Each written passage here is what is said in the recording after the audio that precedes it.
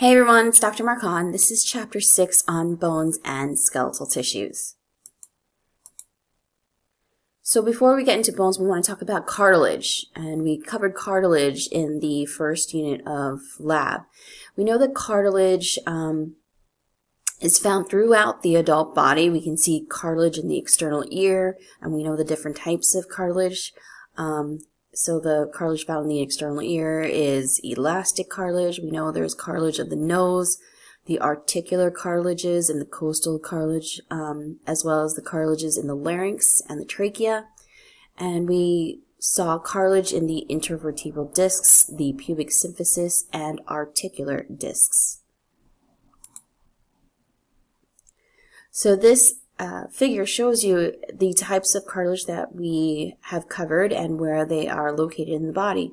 We have three types of cartilages. Uh, we have hyaline cartilage, elastic cartilage, and fibrocartilage. And what's nice about this picture is that it's color coded so you can see where the different types of cartilage are found throughout the body. And we covered in lab, we have elastic cartilage, in the external ear, the pinna, uh, you can't really see the epiglottis, but then we have in blue the hyaline cartilages that we see in the nose, the costal cartilages, um, the small bronchi in the lungs, as well as the trachea and the larynx, and then we have fibrocartilages found in the intervertebral discs, as well as the uh, articular cartilages in the joints, uh, specifically in the knees, and the meniscuses, or menisci. So just some general characteristics of cartilage. We have this structure called the perichondrium. The perichondrium surrounds cartilages. It helps resist outward pressure and helps function in growth and repair of cartilage. It consists primarily of water and is a very resilient tissue. It actually has this characteristics where it springs back to its original shape. Now, all cartilages share some similar properties. We know that the mature cell type is called the chondrocyte. So anything with this root word chondro uh, is talking about cartilage. So chondrocyte is um, a cartilage cell. In this case, it is the mature cartilage cell. And we know that chondrocytes are located in spaces called lacuna, so they're located within lacuna. Um, we know that because it's a type of connective tissue, it has an extracellular matrix, and we know the matrix contains fibers as well as the jelly-like ground substance. And we know that the uh, chondroblast is the cell that helps produce the um, the different types of fibers as well as the ground substance of the extracellular matrix. The first type of hyaline cartilage that we've covered is hyaline cartilage. Hyaline cartilage is the most abundant cartilage. Um, here we see that the chondrocytes do appear spherical. Um, collagen fibers. So the collagen unit fibril is the only type of fiber that is found in the matrix of hyaline cartilage. And we know that the ground substance actually holds a large amount of water, which provides support through flexibility. The second type of cartilage we have is elastic cartilage that contains many elastic fibers. It is because of these fibers that is able to tolerate repeated bending and we can see elastic cartilage again in the epiglottis as well as the uh, external ear, the pinna of the ear. The third type of cartilage that we covered was fibrocartilage. Fibrocartilage actually resists strong compression and strong tension. Um, it's an intermediate between hyaline and elastic cartilage, and we can see fibrocartilage in the pubic symphysis, again, that cartilage that connects uh, the two hip bones, the coxae, anteriorly. We can also find fibrocartilage in the menisci of the knee, as well as the annulus fibrosus in the intervertebral discs. And in lab, we saw histo preparations of the different types of cartilage. We saw hyaline cartilage, which had a ground glass appearance. We can see the chondrocytes in their lacunae. Um, we saw elastic cartilage with those lovely elastic fibers between the chondrocytes in their lacunae. Um, was very darkly stained. And then we saw fibrocartilage. fibrocartilage, the chondrocytes are kind of in rows, um, and you can see these lovely collagen fibers within the matrix. So how does cartilage grow? Um, there are different types of growth within cartilage. You have appositional growth. This is when you have um, the chondroblasts in the surrounding perichondrium that will actually uh, produce new cartilage. And then you have interstitial growth.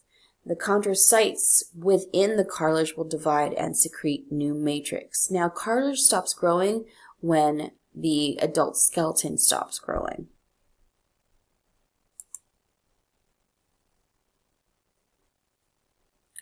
So moving on to bones. Bones actually contain several types of tissues. They are dominated by, of course, bone connective tissue. Uh, also, they contain nervous tissue as well as blood connective tissue. They contain cartilage in the articular cartilages where um, the bones uh, articulate with one another. They also contain epithelial tissue uh, that lines the blood vessels. So there are different types of tissues that make up bone. Of course, we have functions of bones. Functions bones include supports. Bones provide a hard framework for the body. Uh, movement. Skeletal muscles will use the bones as levers. Uh, protection. Bones provide protection of underlying organs. They are also a site for mineral storage. Um, they are a reservoir for important minerals. Also within bones we have blood cell formation, hematopoiesis. Um, blood, bone contains red bone marrow, uh, where we have formation of new blood cells.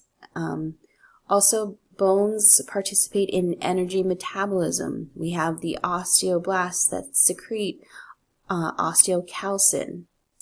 Osteocalcin is a hormone that stimulates pancreatic secretions that reduce blood sugar levels or um, through insulin. Osteocalcin also influences fat cells, causing them to store less fat and to secrete a hormone that increases the insulin sensitivity of cells. So these results will have clinical implications um, for the treatment of metabolic disorders that are related to blood sugar regulation, such as type 2 diabetes. So talking about bone tissue, um, bone tissue has both organic and inorganic components. The organic components of bone tissue include cells, fibers, and ground substance. The inorganic comp uh, components include mineral salts that do invade the bony matrix. The extracellular matrix of bone has a unique composition. Um, it gives the bone exceptional properties. We know that the extracellular matrix, it, about 35% of it is made up of organic components that help contribute to the flexibility and tensile strength of bone. 65% of the extracellular matrix is made up of inorganic components that help provide um, hardness, exceptional hardness, and help with um, resistance of compressive forces. There, there are cells that make up bone, so there are three types of cells in bone that produce or maintain bone. We have osteogenic cells. Osteogenic cells are basically stem cells that will eventually differentiate into osteoblasts. Um, again, when we see the word blast, think immature cell. However, osteoblasts will actively produce and secrete bone matrix. Um, and bone matrix is osteoid. Osteoid is just a fancy term that means bone-like. So the bone matrix that is secreted by the osteoblast is osteoid or bone-like. Um, the third type of cells are the mature cells. These are the osteocytes. These cells help keep the bone matrix healthy.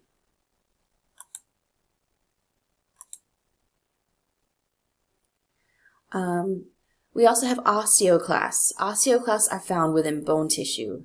Osteoclasts are responsible for resorption of bone, um, meaning the breakdown of bone. Um, we want bone to be broken down in times when we need certain um, uh, certain molecules if we're, for example, low on calcium or phosphorus, osteoclasts actually break down bone to um, give our body a supply of these um, these minerals, these molecules. Osteoclasts are derived from a line of white blood cells. They secrete hydrochloric acid as well as lysosomal enzymes to help break down um, bone. Now, osteoblasts build up bone, whereas osteoclasts break down bone. And usually these two uh, kind of even each other out because you don't want uh, one more than the other. So if osteoclasts are breaking down bone, we have osteoblasts that help um, build up bone. So we can classify bones according to shape.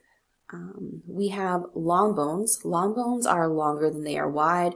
Um, these bones have a shaft plus um, ends to the shaft. There are short bones. These are roughly cube shaped. We have flat bones that are thin and flattened and usually curved. And we have irregular bones, basically bones that fall into the other, uh, that don't fit into the other categories. So irregular bones are of various shapes and do not fit into these other categories.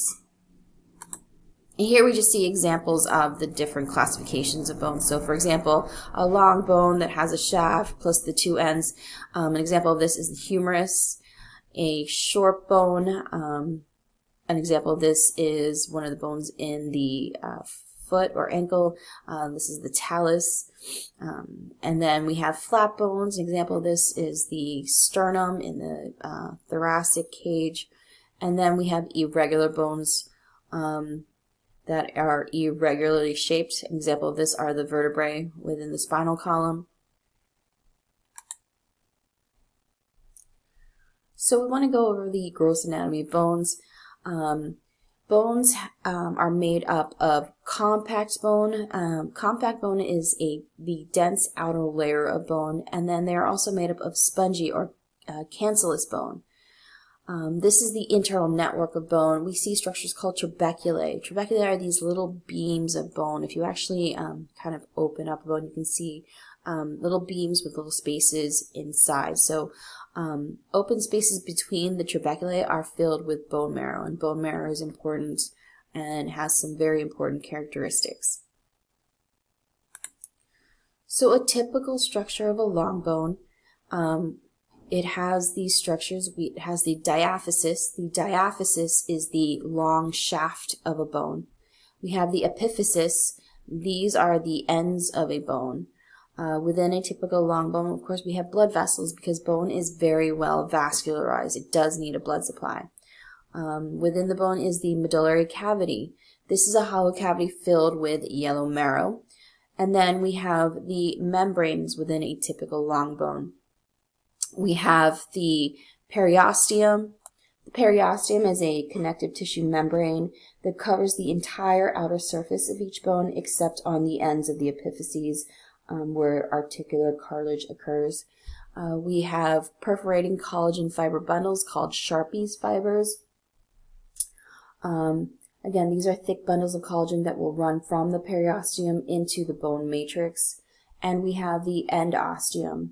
The endosteum um, is the internal bone surface uh, or covering uh, made up of a connective tissue. So here we see the structure of a typical long bone. Um, again, we have this long shaft, which is the diaphysis. We have the two ends. We have the proximal epiphysis and the distal epiphysis. Within the, uh, the bone, we have a medullary cavity, um, and then the outer connective tissue lining is the periosteum, uh, and then we have the internal endosteum that lines the medullary cavity. And then within the uh, medullary cavity, there is yellow bone marrow.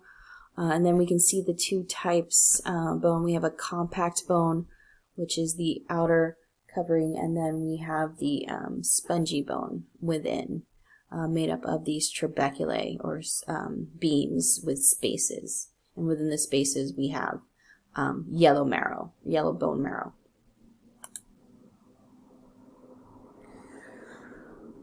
So, um, short, irregular, and flat bones also have a similar structure. Flat bones, short bones, and irregular bones contain bone marrow, but don't have a marrow cavity like long bones do. Within these bones, we have structures called uh, diploe. Diploe are the internal spongy bone of flat bones. And here we see that spongy diploe and then the outer uh, compact bone. Again, we have those uh, structures, the trabeculae, that are like little beams, um, and then spaces within the trabeculae. So bone design and stress, we know that the anatomy of a bone will reflect the stresses uh, that the bone comes in contact with. We know that compression and tension are greatest at the external surfaces. So here we see um, a figure of um, the bone anatomy and bending stress. So we can see that body weight is transmitted through, this is actually the femur, but body weight is transmitted through the head of the femur, which will threaten to bend the bone along this arc um, this dotted line right here. So the strongest forces occur at the periphery of this long bone. So we have two types of um, forces. We have compression forces on this uh, loaded side. We can see that um, these forces compress the bone. And then we have tension forces on the opposite surface. So these forces are resisted by the outer compact bone. And then we'll have actually a canceling out. So tension and compression will cancel each other out internally at the point of no stress. As a much, as a result, um, much less bone material will be needed internally uh, than superficially. Okay. And this is just a diagram of the stress, the different types of stress trajectories through the proximal femur during loading. And again, these forces uh, will cancel each other out at the point of no stress. And um, compression lines are shown in red, whereas the tension lines are shown in blue. And we can see these lines and we can see, we compare this uh, figure with the actual uh, picture of the prox, the inside of the proximal femur uh, where the trabeculae kind of align with uh, these uh, forces, these stress forces. So um, much less material is needed in uh, this area of the bone um, because we know that's um, due to the structure of the bone, the compression forces and the tension forces will cancel each other out. So we talked a little bit about bone markings um, the other day. Bone markings are just superficial surfaces of bones that will reflect the stresses on them. There are three broad categories of bone markings that you guys need to know. Um, bone markings provide projections for muscle attachments. Uh, secondly, they are they provide surfaces that will form joints. Um, they can also be depressions and openings. So this table, 6.1, is actually a real, really good table that you guys should study because it shows the three categories of bo uh, bone markings and the different bone markings within those categories. Uh, so make sure you know uh, which bone markings are in which categories. So the first um, category uh, for bone markings are projections that are sites of muscle and ligament attachments. So we have structures called tuberosities, Tuberosities are large, rounded projections. Uh, they may be roughened. We have uh, structures called crests. So for example, we have the iliac crest right here. The crest is a narrow ridge of bone that is usually prominent. We have trochanters, and again, trochanters are very large, blunt, irregularly shaped processes that occur only on the femur. So we have the greater trochanter and the lesser trochanter. And then we have a line that kind of connects them. So a line is a narrow ridge of bone that is less prominent than a crest. So for example, the intertrochanteric line, we can see is definitely a lot smaller or less prominent than a crest. And this line connects the greater trochanter with the lesser trochanter. But lines are found uh, throughout other, other bones in the body. A tubercle is just a small rounded projection or process. We have an epicondyle, which is a raised area on or above a condyle. Um, when we talk about muscles, we'll later talk about the medial epicondyle of the humerus and how all the uh, flexor muscles within the forearm um, attach to the medial epicondyle of the humerus. Um, a spine is just a sharp, slender, often pointed projection, and a process is just any uh, bony prominence. We have bone markings that have surfaces that form joints. For example, on the rib, we have the head. Um, the head is a bony expansion carried on a narrow neck. We also have facets. Facets are smooth, nearly flat articular surfaces um, that articulate with other bones. And then we have a condyle. A condyle is just a rounded articular projection which often articulates with a corresponding fossa of another bone. And this again helps form an articulation with another bone. Um, then we have depressions and openings. Usually these openings or depressions are um, for passage of vessels and nerves. So uh, the first opening we'll talk about is a foramen. Foramen is just a round or oval opening through a bone. The plural for foramen is foramina. We have grooves that are furrows where vessels can also travel along. Then we have fissures. Fissures are narrow slit-like openings. Notches are indentations at the edge of a structure. And then we have other bony markings that fall in this category. We have uh, fossa. These are shallow uh, basin-like depressions in a bone that often serve as an articular surface, um, or where you know muscles can can sit, such as the subscapular fossa. Um, and then we have a meatus. A meatus is just a canal-like passageway. Uh, sinus. Sinus is a cavity within a bone filled with air and lined with mucous membranes. Uh, the sinuses that we'll be talking about are the paranasal sinuses within the skull.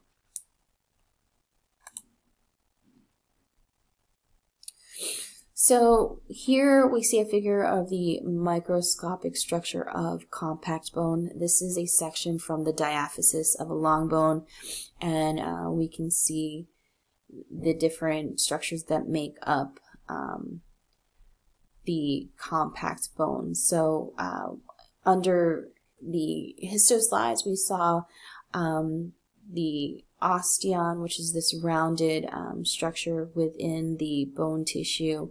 Um, and then we saw those lines as well as the osteocytes and the lacunae. We saw those um, thin spidery like lines called canaliculi which allow for communication between the osteocytes. And we saw these concentric lines within the osteon called lamellae. And then in the middle is the central canal where we have passage of um, nerves as well as blood vessels and we'll talk more about these structures. So compact bone is um, the structure that makes up the outer part of the bone. Compact bone contains passageways for blood vessels, lymph vessels, and nerves. Within compact bone, we have these rounded structures called osteons. Osteons are also called Haversian systems. Osteons are long cylindrical structures that are oriented parallel to the long axis of the bone um, and to the main compression stresses. Functionally, they are basically miniature weight-bearing pillars within a compact bone. Osteons function in supports, and structurally they resemble rings of a tree in cross-section. We saw those uh, concentric um, layers within the osteon. So the osteon contains structures called lamellae.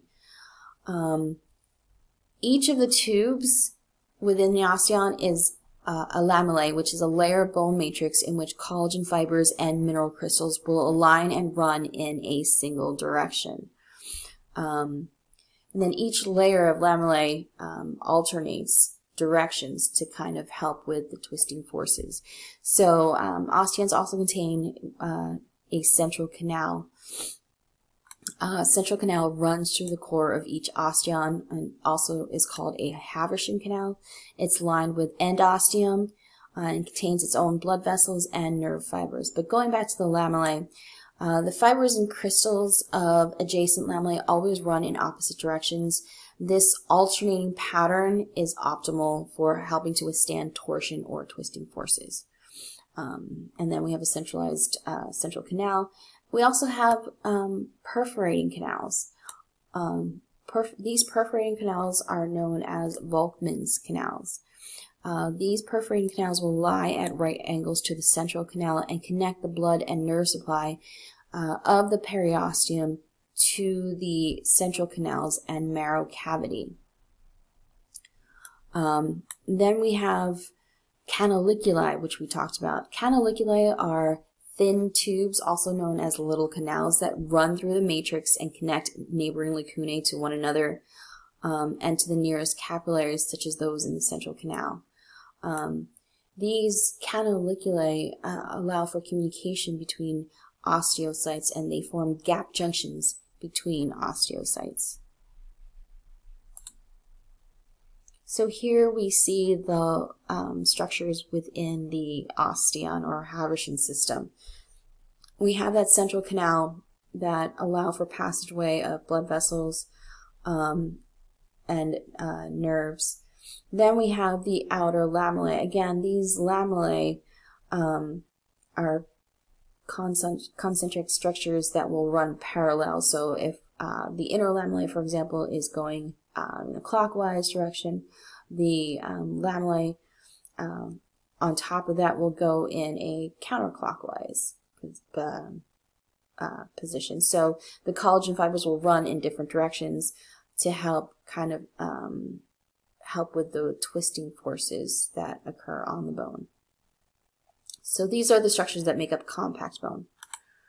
Spongy bone is less complex than compact bone. We have those beam-like structures called trabeculae that will contain layers of lamellae and osteocytes. Um, however, they, uh, spongy bone and the trabeculae are too small to contain osteons. So you don't have those Haversian systems in the spongy bone. And here again, we see those um, beam-like structures uh, of the trabeculae and then the spaces within the trabeculae. So we have a layer of endosteum, again, uh, that contain osteoblasts um, that are important for forming new bone and forming matrix. And then we have the mature osteocytes uh, within the solid portions of the trabeculae.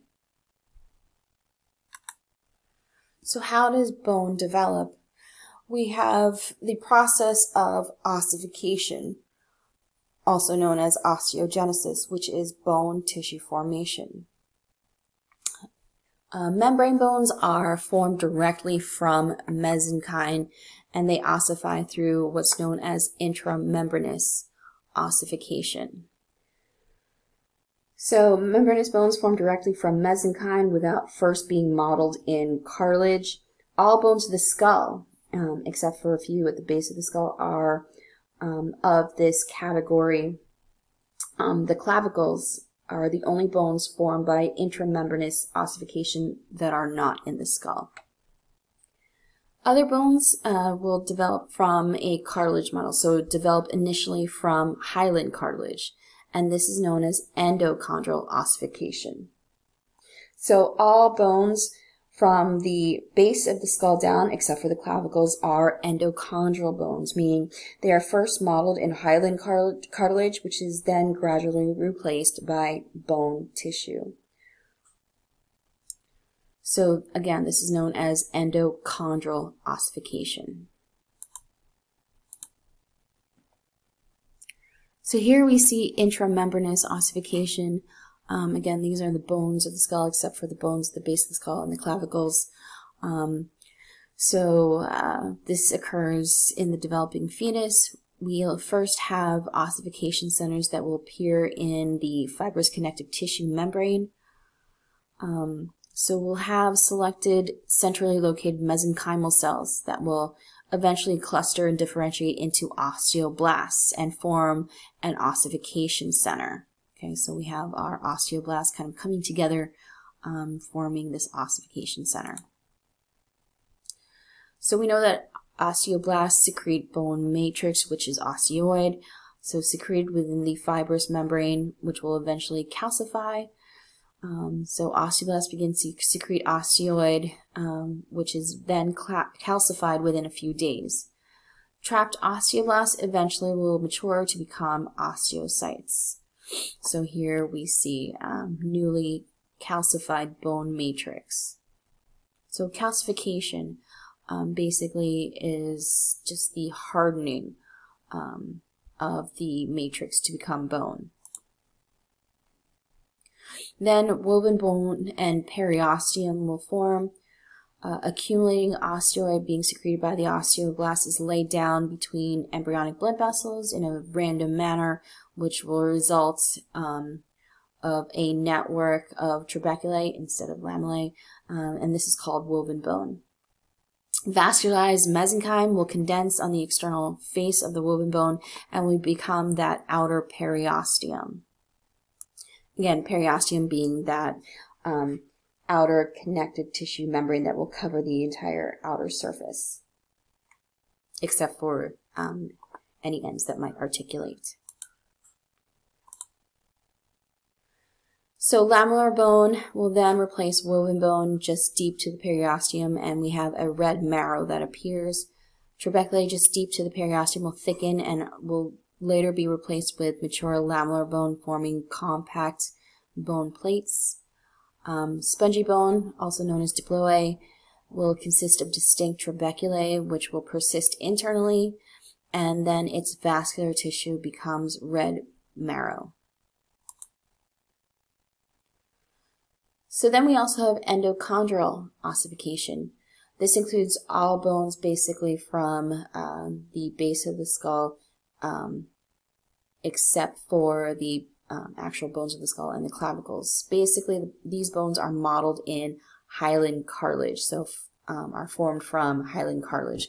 This begins um, forming late in the second month of embryonic development and will continue forming until early adulthood. And here we see uh, the steps of the endochondral ossification of a long bone. So first we have the formation of a bone collar. So the bone collar will form around the diaphysis of the hyaline car uh, cartilage model. Then we have um, the cartilage in the center of the diaphysis will calcify and then develop cavities. Um, here we see areas of deteriorating cartilage matrix. Then we have um, the periosteal bud, which will invade the internal cavities and uh, formation of spongy bone beginning to form. Then um, this occurs about the third month of fetal life, and then at birth, the diaphysis will elongate, so we have elongation of the shaft, and a medullary cavity will form as ossification continues, We'll then have secondary ossification centers that'll appear in the epiphysis, so the, the different ends of the, um, the long bone. And then the epiphyses will ossify. Uh, when completed, hyaline cartilage remains only in the epiphyseal plates here, as well as the articular cartilages. So we want to talk about the anatomy of the epiphyseal growth areas. In epiphyseal plates of growing bones, cartilage is organized for quick, efficient growth. Uh, cartilage cells will form tall stacks. The chondroblasts at the top of these stacks will divide very quickly. Um, the, the uh, epiphyseal plates will push the epiphysis away from the diaphysis, um, and then we have lengthening of the entire long bone. Older chondrocytes will signal surrounding uh, matrix to calcify, and then uh, older chondrocytes will die and disintegrate, which will leave long trabeculae um, or beams or spicules of calcified cartilage on the diaphysis side. Uh, trabeculae are partly eroded by osteoclasts. Again, these cells that help uh, break down bone. They have the hydrochloric acid and the enzymes that help with breaking down of uh, bone. Osteoblasts will then uh, then cover trabeculae with bone tissue, so they help with uh, putting down bone or, or uh, forming bone tissue. Trabeculae will then finally be eaten away from the tips by osteoclasts. So again, you have this kind of breaking down and building up a bone by the two different cells. So osteoclasts uh, kind of uh, break down bone, whereas osteoblasts, notice there's a B in osteoblasts, build up bone. So here we see um, an organization of these cells um, and cartilage cells within the epiphyseal plate of growing long bone. So we have the uh, resting zone um, within the epiphyseal plate, and then we have the proliferation zone. This is where we have cartilage cells undergoing mitosis or cell division. Um, we have the hypertrophic zone. This is where we have uh, enlargement of the older cartilage cells. Then we have the calcification zone. This is where matrix becomes calcified, uh, cartilage cells will die, and the matrix begins deteriorating. And here we see the ossification zone. Um, ossification zone is where we have a new bone formation.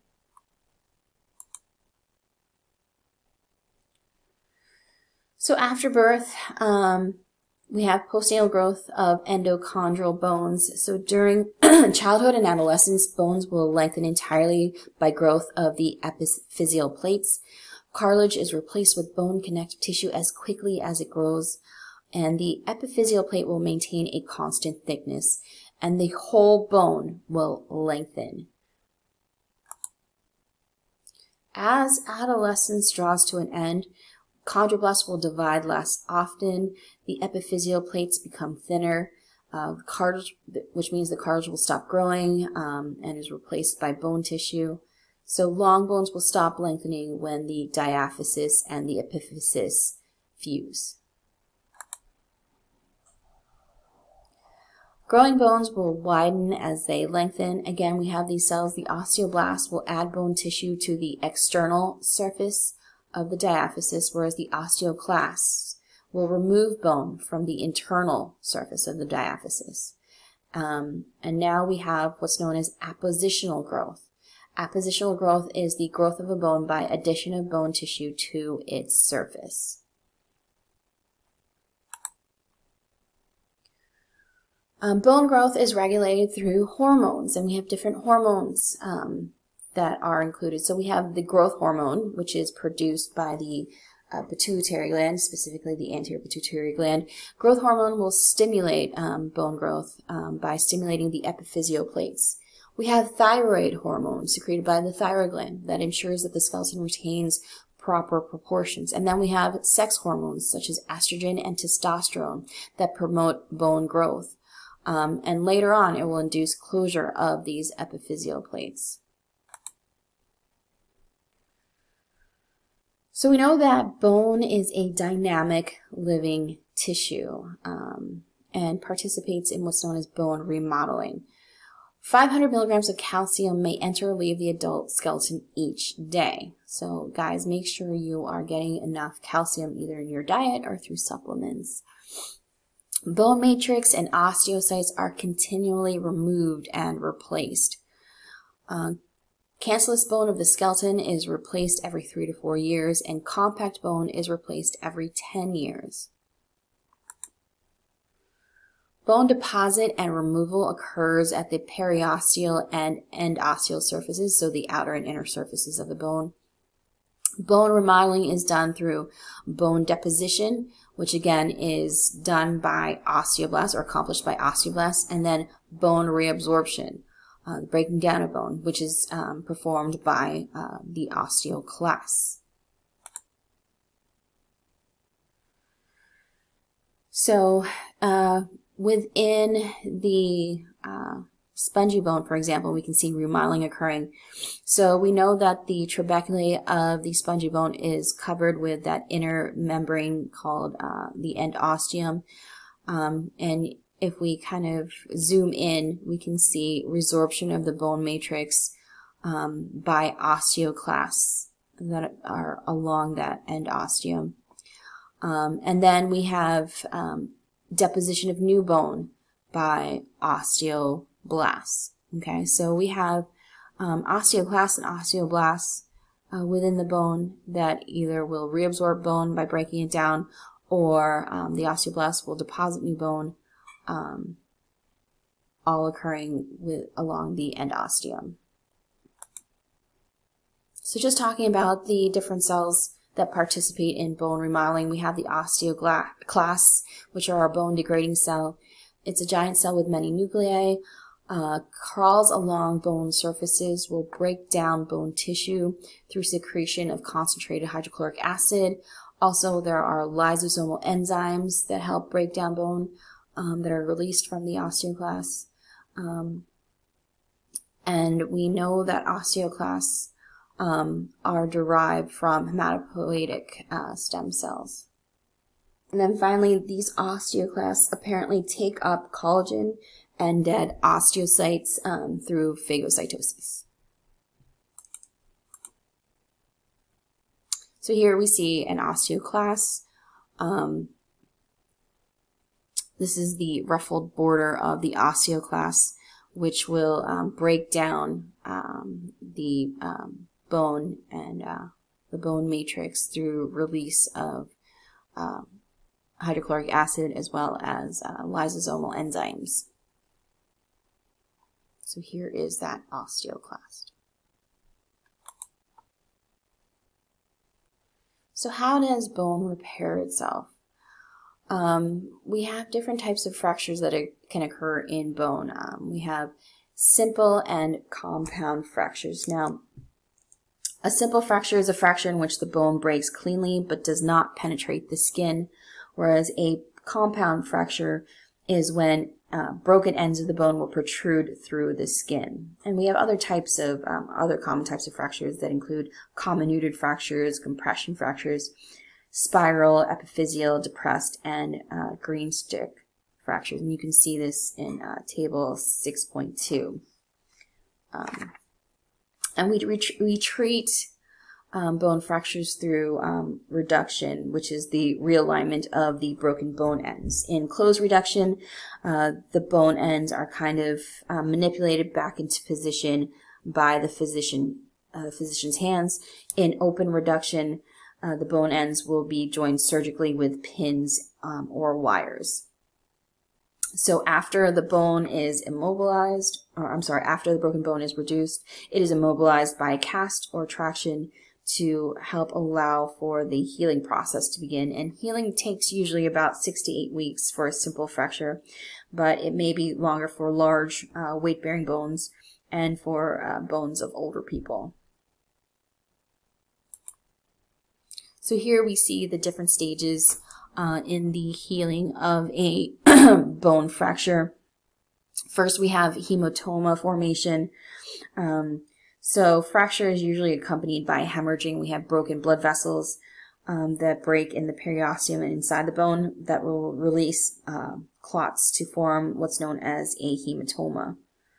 And we can see the stages of inflammation um, in and around the clot. So here is that hematoma that is formed.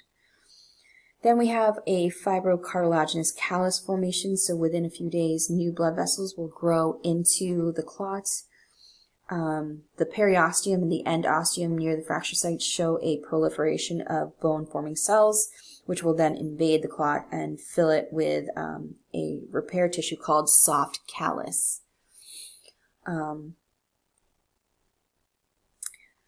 so then we have um, the soft callus being called the fibrocartilaginous callus. Then we'll have a bony callus that forms. So within a week, the trabeculae of new woven bone will begin to form in the callus, mostly through endochondral ossification. Um, the callus is now called a bony callus or hard callus, and that trabeculae will grow thicker and stronger and become firm in about two months after the injury.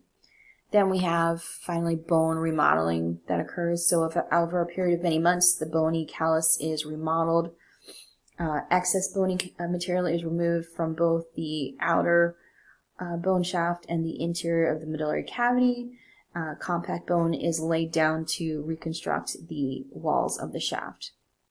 The repaired area will resemble the original unbroken bone region um, because it responds to the same set of mechanical stresses. So these are the stages of healing of a bone fracture. And again, table 6.2 shows the common types of fractures, um, which you guys should be aware of. Uh, we have a comminuted fracture where um, bone fragments into three or more pieces and are common in the old elderly uh, whose bones are more brittle. We have compression fractures where the bone is crushed. Um, these are common in porous bones or osteoporotic bones. Um, that are subjected to extreme trauma as in a fall. So here we can see compression uh, fractures occurring within the vertebrae. We have spiral fractures where um, a ragged break occurs when excessive twisting forces are applied to a bone. Um, these are common in sports fractures. We have epiphyseal fractures where the epiphyseal uh, epiphysis will separate from the diaphysis along the epiphyseal plates occurs where cartilage cells are dying and the calcification of the matrix is occurring. We have depressed fractures where um, the broken bone portion is pressed inward. This is a typical um, type of skull fracture, usually due to trauma. Uh, green strict fractures, this is when the brain uh, bone breaks incompletely. Um, much like how a green twig will break, only one side of the shaft will break and the other side bends. These are usually common in, in children because their bones have uh, more organic matrix and are more flexible than those of adults.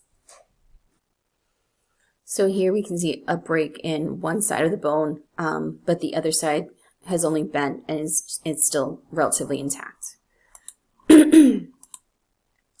So then we have disorders of bones. Um, we have a disorder many of you may know about called osteoporosis. And osteoporosis is characterized by low bone mass. Uh, what happens is um, bone reabsorption by the osteoclast will occur uh, more quickly than bone deposition by the osteoblasts. And this often occurs in most women after menopause usually due to the decreased effects of estrogen after um, a certain age in women. So here we can see um, the trabeculae of normal bone, um, strong trabeculae beams of, of, of, spongy bone, and then in osteoporotic bones we can see these pores kind of infiltrating the uh, trabeculae, making the bones uh, less firm um, and this is due to a decrease in the uh, amount of calcium as well as uh, the effects, a decreased effect of estrogen on bone.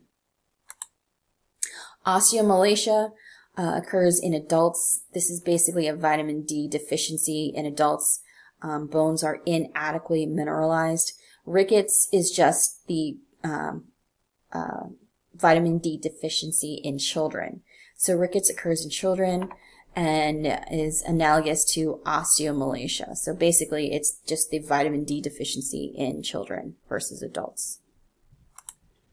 And here we can see the um, pathognomonic bowing of the legs of a child with rickets, and this is again due to a vitamin D deficiency. Osteosarcoma, um, this is a form of bone cancer. Osteosarcoma primarily affects young people between uh, 10 and 25 years old.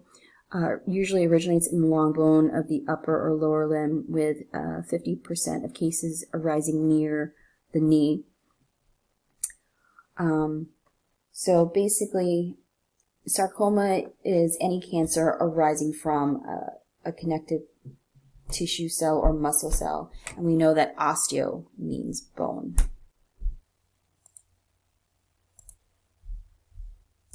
So now we're going to talk about what occurs to the skeleton throughout life. Uh, cartilage grows very quickly in youth. The skeleton shows fewer uh, chondrocytes in the elderly, and basically we can use the bones as a timetable. Um, we have mesoderm that gives rise to embryonic mesenchyme cells, and the mesenchymes will produce membranes and cartilage. Um, membranes and cartilage will ossify. So here we see the primary ossification centers in the skeleton of a 12 year, 12 week old fetus. And we can see, you know, um, the different types of bones that will eventually become adult structures. The skeleton grows until about 18 to 21 years old. In children and adolescents, bone formation will exceed the rate of bone reabsorption. In young adults, bone formation and bone reabsorption are in balance with one another, and then in old age, reabsorption will predominate.